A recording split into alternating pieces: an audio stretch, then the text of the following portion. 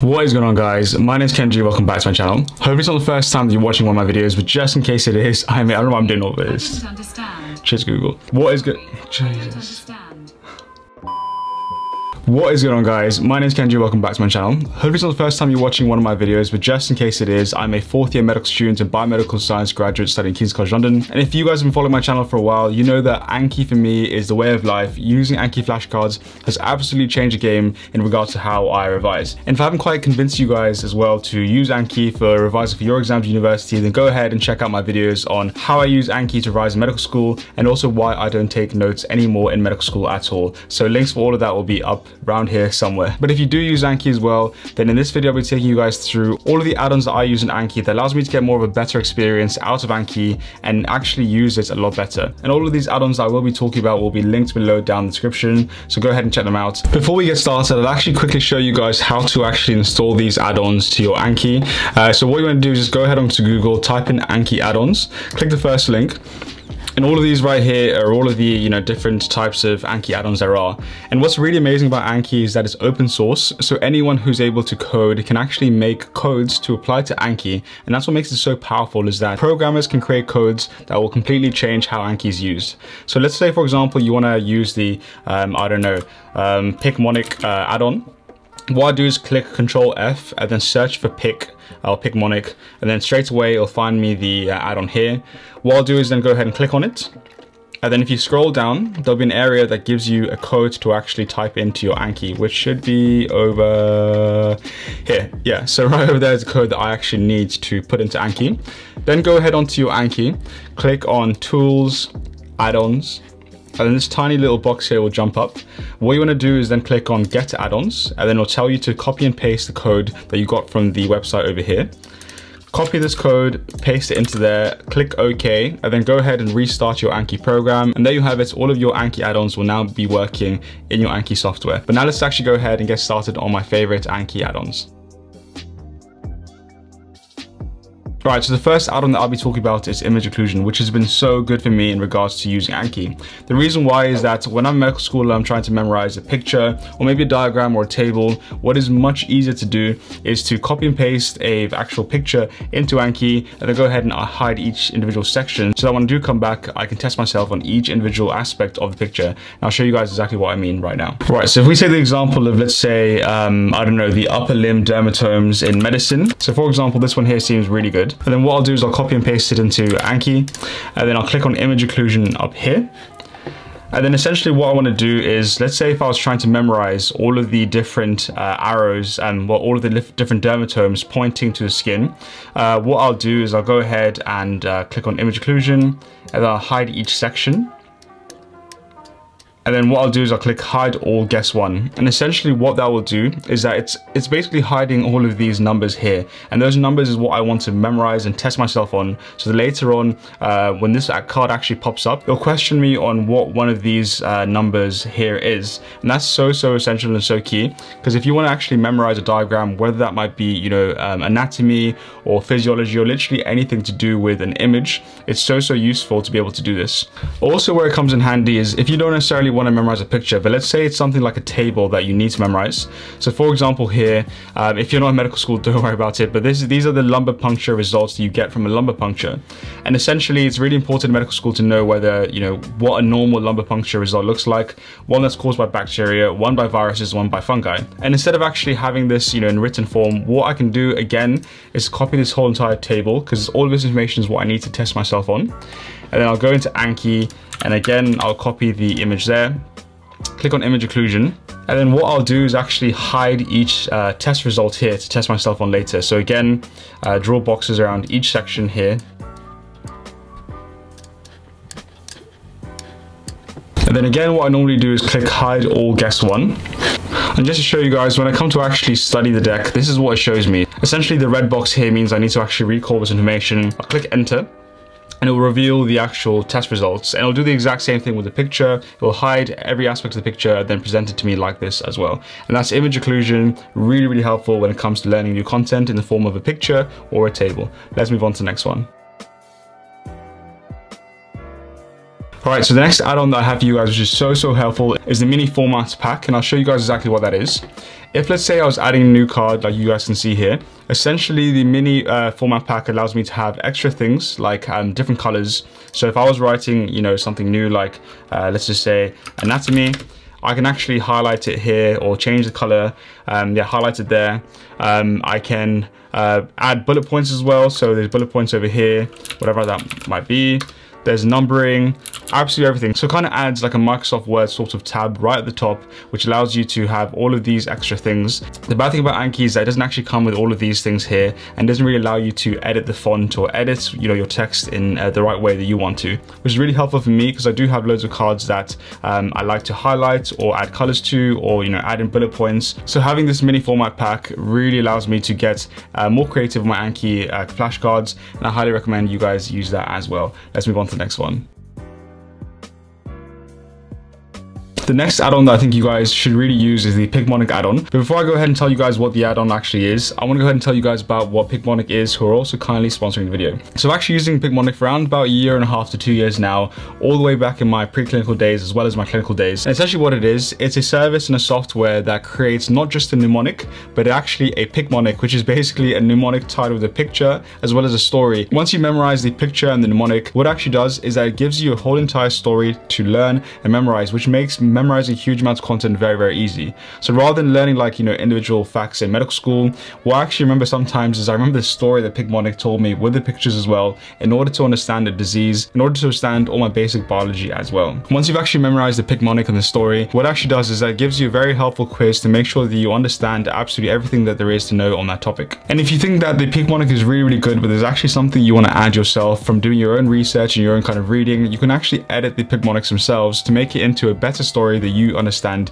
even more so. Picmonic is always, always up to date with loads of students around the world being able to add their own information to the whole Picmonic database, which is also superimposed by all of the information that the Picmonic experts add every single day. What's really funny and really cool about Picmonic is that the characters and the pictures they actually use in the stories are actually similar across all of the different topics, which makes understanding and memorize different topics so much easier. And what's really cool is that they actually have a Picmonic add-on which I use all the time and is super, super useful. So for example, if I'm actually reviewing my flashcards, this flashcard over here, for example, is a pulmonary embolism ECG trace. What the actual add-on does is that it actually searches through the words and underlines all of the words that you can actually look up on the Picmonic database in blue. So for example here, it's picked up the ECG uh, word here. So if I hover over ECG, straight away it gives me loads of information that I need to know about the ECG, as you guys can see here. So for example, an ECG is a non-invasive test that monitors the electrical activity of the heart. It also gives you more information on that as well.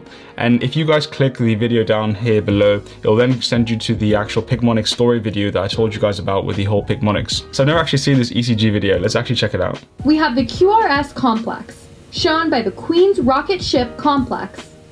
The QRS complex measures ventricular depolarization, shown by the ventricular discharge of electricity. So this add-on is actually completely free, so it gives you all of this information free of charge. But if you actually want to get Picmonic for yourself and have access to the full library of content that they have, then I have a unique link down below. They'll give you a nice cheeky discount. But let's move on to the next add-on. All right, so the next add-on that I highly recommend you guys download is the heat map. And when you actually download Anki, um, the actual software and the layout is very, very simplistic. But what the heat map actually does is, as you guys can see over here, it adds this section over here, which is a heat map, which allows you to actually look back on your progress when using Anki. So all of these green boxes here are the days where I actually yeah, used Anki. So as you can see, we're right over here, which is uh, today, uh, Sunday. Uh, all of the white boxes are days I actually missed. So yesterday, the Saturday, I didn't actually revise Anki. Then goes all the way up and tells me how many days I actually uh, used Anki, which is so, so helpful because I can track my progress. You know, as you guys know, what's really, really important with Anki is to be consistent. So it allows me to check my consistency. This, this box right here was the 1st of January. So I can see that throughout the whole entire uh, 2021, I've probably only missed around maybe five, six days of using Anki, um, which gives me lots of motivation and hope for the future. It also tells you, you know, how many streaks you have because because yesterday I missed one day, I'm only on a one day streak over here. My longest streak of actually using Anki has been 26 days. I've learned for 75% of the days, and on average, I do around 64 cards a day. So having this bit of uh, information here just gives you a bit more of a ability to see how consistent you are with Anki. And that's absolutely the key to using Anki is consistency, doing your cards every single day. So I do like having this over here. That's a heat map add-on. Let's move on to the next one. All right, so the next add-on that I have for you guys is called Edit Fields During Review. And I'll just show you guys what that is. Um, so if I go onto one of my decks here, for example, I'll click Study Now. So essentially what I'm doing is going through all of my Anki flashcards as I would every single day. And what this actual add-on does is that it adds a little edit section down here. So let's say, for example, I was reviewing this flashcard here, which says the capital of France is, then I'll click on it and it obviously is Paris.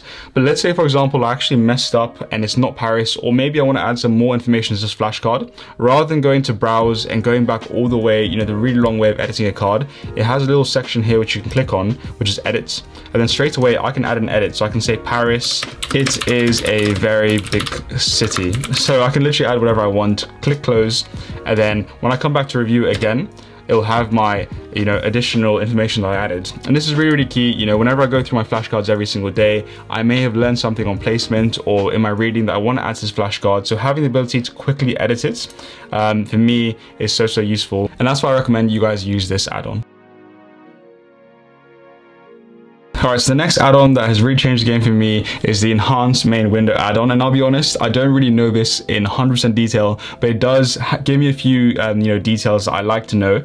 Uh, so for example, as you guys can see here, I have loads of extra information on my home screen on Anki. As I said, when you actually download Anki, it's very, very basic, very, very minimalistic, but I do like having a bit more information about the decks I'm going through. So the information that does give you is it'll tell you how many cards you have due today. So for example, in the default deck over here, I have four cards left to review today. It also tells me how many cards I'm learning right now. As well as that, it'll tell you how many I have due today, um, how many cards I haven't actually seen yet. So these might be new cards I added very recently that I haven't actually seen yet. Um, and it gives me a ton of information more that I, um, that I just find very, very useful. I won't go through all of it right now, but as you can see here, it tells me all the to total cards I have, what cards are mature, which cards are young, how many cards have actually repeated altogether, um, and just having a bit more information about where I am in regards to my deck, especially when I'm making new cards and I want to, you know, constantly know what is going on inside inside my deck with all of these flashcards, having a bit more information on your deck is super, super useful to know where exactly you are in your revision. So for the next add-on, I actually can't really show you guys what it is because it's not really something you can use or see, but essentially it's called Load Balancer. And I found this Anki add-on really useful because when you actually start using Anki, it's really, really weird. On some days you may have 100 cards to review. On the next day you may have 20 cards to review. The next day after that might be, you know, 30, 40. It really goes up and down. And I didn't really like that because you don't exactly know what to expect. You know, one day I may have loads of cards to do. The next day I may have really, really few cards to do. Um, which I didn't really find fair. I wanted to review, you know, the same amount of cards more or less every single day and not be surprised by one day, you know, having so many cards to review when yesterday I didn't actually have that many to review. So I found this add-on called Load Balancer and essentially what it does, it adds up all of the cards you have and puts an average uh, on it. So rather than having, you know, 100 cards today and let's say 20 cards tomorrow, it might, for example, give you 60 cards today and 60 cards tomorrow. So make it very even across the days you have left. And it makes the days kind of more fair and not as long as well. So the Load Balancer is really, good to spread out your cards evenly to stop you from being overloaded on one day and not have enough cards on the next day. That's the load balancer. Let's move on to the next one. All right, so the next Anki add-on that has added a lot of value to me is called the image resize editor. I think that's what it's called. I'll put it up on the screen or down below. Um, but essentially what that is, is let's say you have an image that you want to actually add to your deck. If I had an image here, without this add-on, what's really, really annoying is that you can't actually resize this image. So whatever size the image was before, when you copy it and paste it into Anki, that is the image size that would actually be for the rest of the time. And I found this really, really annoying. You know, some images are really, really small, some are huge. So I wanted a way to resize my own image. And if you have this add-on, essentially, it's really, really simple, but essentially what you can do is you can make it really, really small or really, really big and just resize it to the size you want. Again, it's very, you know, arbitrary, maybe not very, um, you know, helpful to you, but I really, really liked having this because I do have a bit of OCD in this sense. I don't like having, you know, crazy big um, images. I want to have the perfect size that I want to choose for myself. Let's move on to the next one. All right, so for the next add-on that I use in Anki, uh, this add-on is actually called Tag. Uh, tags are mandatory. And the reason why this is really good is because when I'm actually making my cards, I want to make sure that I always, always, always add a tag. The reason why is because I like to be very, very organized with Anki. Uh, and just to show you guys um, very briefly, I do have um, all of my notes organized into different sections. So I have flashcards on cardiology, emergencies, endocrinology, geriatrics. I do like organizing all of my flashcards into the relevant kind of medical uh, specialty. But the annoying thing is sometimes when I'm making notes, I can sometimes forget to add a tag. And it's so annoying if you spend a whole entire session adding cards and you forget to add tags, it can be really, really long to go back and add tags to it. So I found an actual uh, Anki add-on that makes sure that I can't add a new card without having a tag.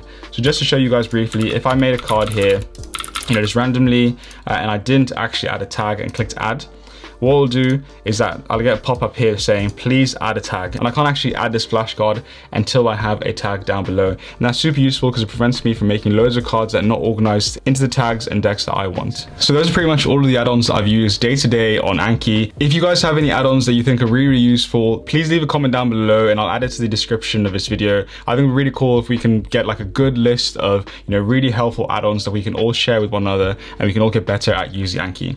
If you guys think this video has been useful, useful, please leave it a thumbs up. Make sure you're subscribed as well. Leave a comment down below to let me know. Turn post notifications on as well so you know whenever I'm posting. Thank you guys so much for watching and I'll see you on the next one.